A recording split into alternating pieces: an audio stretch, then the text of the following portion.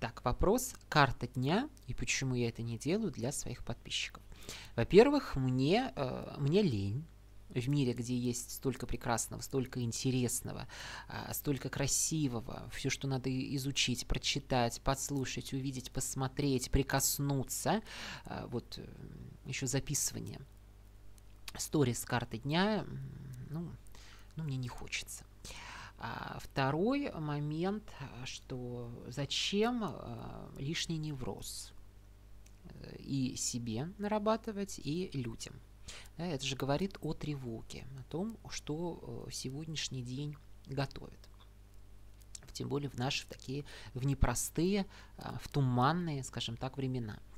А, третий момент, даже э, даже если исследовать это явление как-то энергетически, эзотерически, вот я не понимаю, да, вот как можно на аудиторию в несколько тысяч человек даже в несколько десятков выложить одну и ту же карту.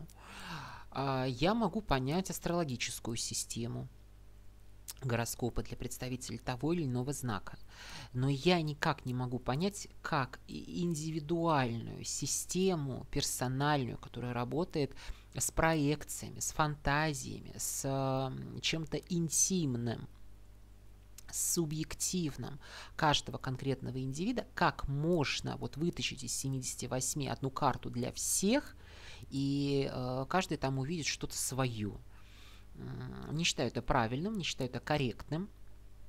Можно, конечно, э, задумывать, да, что я сейчас э, как представитель некого эгрегора, да, некой аудитории своей, вот, что нас всех ждет. Да, это тот же самый вопрос, э, да, вот расклад на Россию, что нас всех ожидает, тех, кто живет в какой-то, в той или иной стране, э, так, такого или иного возраста. Вот понимаете, все строго психологично, строго субъективно и инди индивидуально. Невозможно э, всех расчесывать под одну гребенку. Э, поэтому я этого и не делаю. Но, э, конечно, это хороший очень маркетинговый ход. Э, те, кто ведет э, свои странички, раскладывает. Ну, к этому отношусь очень смешно, даже не читаю, просто перелистываю. А, также я не понимаю вот это вообще совмещение кислого и соленого астрологич...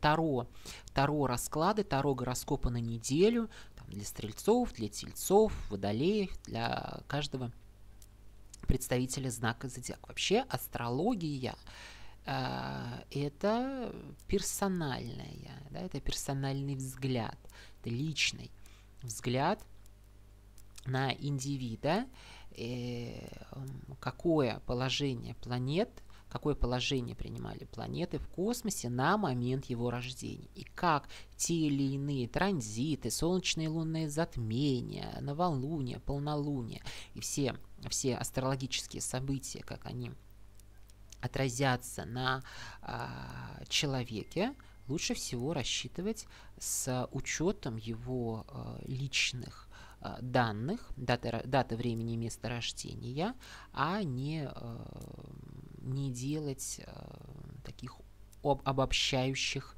выводов для всех.